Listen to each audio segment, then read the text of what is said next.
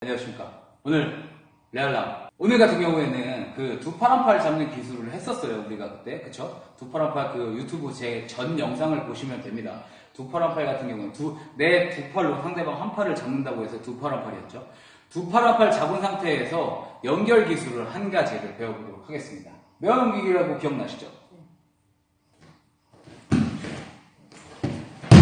오케이. 아, 팔을 안 잡아서. 아. 어, 팔을 좀 꽉 잡고 꽉 잡. 자, 방금 이게 메어 넘기기인데 이 메어 넘기기를 두 팔 한 팔 잡은 상태에서 들어갈 수 있어요. 음, 두 팔 한 팔 잡은 상태에서 두 팔 한 팔을 상대방 손이 올라왔을 때 이렇게 잡았단 말이야. 자, 여기에서 이제 음, 상대방이 가운데 이렇게 사이드를 내주진 않을 거예요. 정면으로 서려고 할 거예요. 그치? 이렇게 서죠. 요때 이 사이로 똑같이 이렇게 들어. 이렇게. 오케이? 자, 두팔한팔 잡은 상태에서 자, 이쪽으로 써보세요. 이쪽, 이쪽 두팔 잡아야 돼요. 네. 그렇지. 두팔한팔 잡은 상태에서 상대방이 정면으로 쓸때 이거 꼭 잡고 핸들을 잡고 그렇지.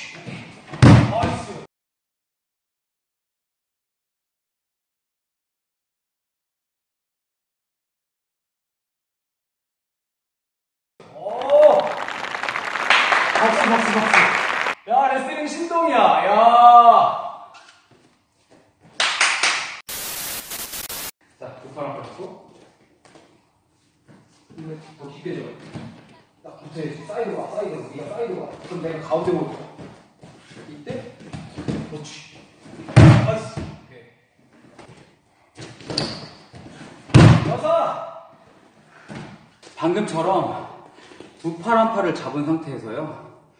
이 상태에서 만약에 상대방이 이걸 방어하려고 이 손을 겨드랑이를 팔 때도 있어요. 겨드랑이를 이렇게 팠죠. 똑같아요. 똑같아. 이렇게 됐잖아. 그럼 똑같이 그냥 이렇게 들어가는 거야. 네. 그래서 옆으로 넘기는 거지. 네. 아니,